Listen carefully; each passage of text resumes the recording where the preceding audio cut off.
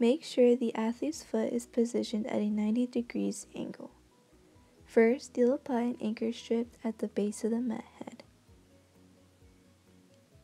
Now you'll do an anchor strip going horizontally from medial to lateral.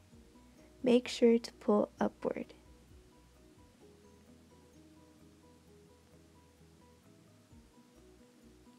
Now, start at the base of the foot near the calcaneus and put anchor strips. These are also known as support strips. Make sure both anchors connect and overlap a third to a half. Now it is important to go from lateral to medial. Now depending on the support the athlete requires, you are able to do two or three layers of these. Now you'll do closing strips to ensure all the tape.